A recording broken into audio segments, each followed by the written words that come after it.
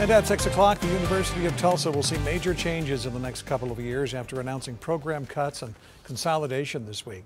Our Ashley Wheeler went to work to show us how these changes will impact students working toward graduation and the faculty who teach them.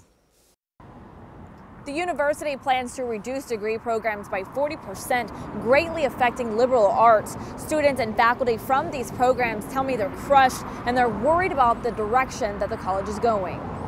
Jacob Patterson was heartbroken when he found out the theater program he just graduated from is being eliminated. We always felt like we had a place to come back to it to you, and we really know, we don't anymore. Over the next two years, the university plans to cut nearly half the number of programs it offers.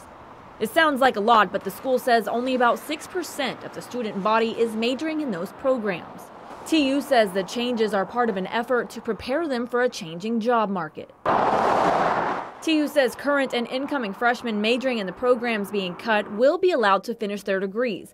But Patterson says it's not fair to the younger classmen currently enrolled in those programs. Even if the programs are being, you know, phased out with no more new students coming in, it's really impossible for a theater program to last more than one more year. A professor at the college for more than 30 years, Jacob Howland was shocked when he heard about the changes not to be able to study philosophy and religion. These are the source of the great traditions that are at the heart of a liberal education. My interests are fed by the stuff I teach and vice versa, and um, that's just being ripped away right now.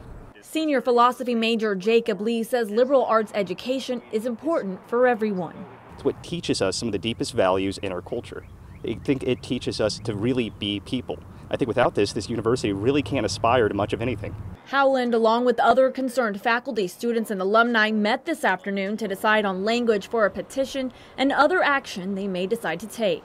In Tulsa, Ashley Wheeler, 2 Works for You.